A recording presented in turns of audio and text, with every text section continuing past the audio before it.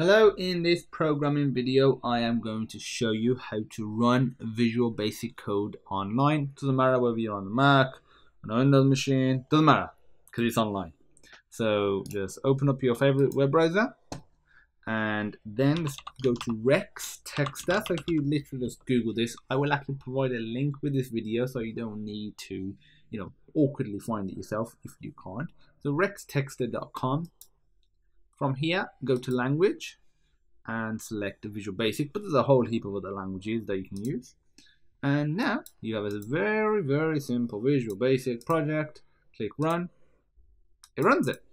If, let's say, I was to change this to Hello World, my name is Frahaan. And I'll do a capital F for my name. Run it there you go. It runs. And that's it. There's nothing more to it than that. So if you want to, you know, quickly try some Visual Basic Code online, this is the way to go. And like I said, there's a bunch of other languages, so feel free to use it for various other languages and projects as well. If you have any questions, feel free to message me. And as usual, I look forward to seeing you in the next programming video.